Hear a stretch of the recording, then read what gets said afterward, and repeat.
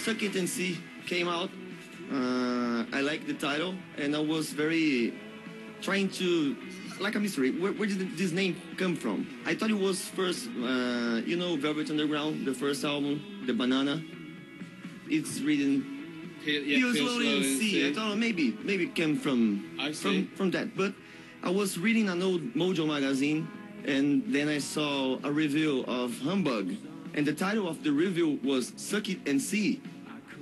That's Bef- right, before yeah. Suck It and See come out, and and oh, maybe they Took took, it it from from. And then somebody sent me a picture of a candy store called Mr. Humbug, and their slogan, their slogan is "Suck It and See." Yeah. Can you make it clear for me, please? Where did that, the title for the record was? Um, I don't know really. We, we wanted to have a we had a song called that on the album.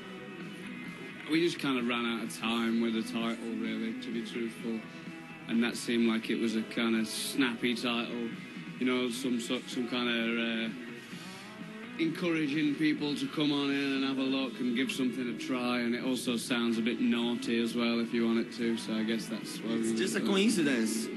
Even the The Mojo mag, yeah. Yeah.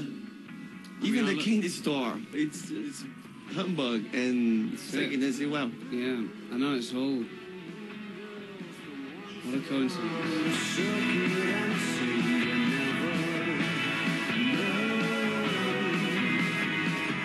when U2 went to the United States, uh, they got influenced by American music, and then out of that came Joshua Tree, a classic album by U2. And I think that when you guys went to the United States to record with Josh Homme, your sound changed a little bit. Uh, do you guys feel that influenced on your sound Definitely. when yeah, it that, happened? That whole, the whole experience of that record was like very much like broadened our horizons. I feel.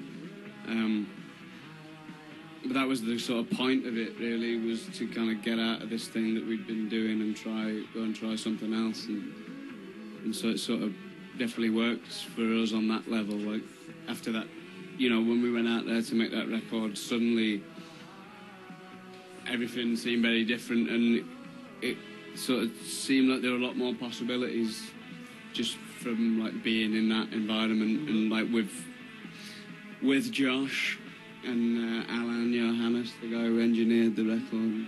Just yeah, that whole thing really.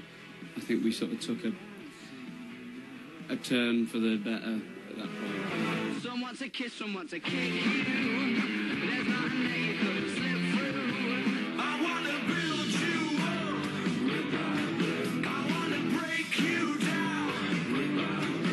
And I even assumed that this hairstyle came from come from Came from I the don't know, desert. Yeah, come from Gene Vincent actually. Sweet Jean, yeah. Well, bebop she's my the desert made it made me grow it out. You know what I mean? You sort of you you lean back a little bit. uh, Uh-huh. So that's when it kind of came. It got as long as it's been, and I don't know. And time came to smarten it up. I'm a puppet on a string. Tracy Island, time traveling diamond, could have shaped heartaches. And the latest music videos by the Arctic Monkeys, and we can see you acting and Matt Helders acting. Do, do you guys have any plans to I, I don't know be in a film or something like that? I certainly don't, but I think um, Matt Helders might sort of be the next action hero of this generation. Yeah, Die Hard Five. Yeah, I think he's been. I don't know, someone's approached him. I think. Yeah, I mean, he's reading, he's looking over scripts at the moment. It's all sort of script dependent. I think, you know, he's kind of reading a few things, but You won't left the man to be an actor, right? it's right? got to be the right role, you know. yeah. Now it's getting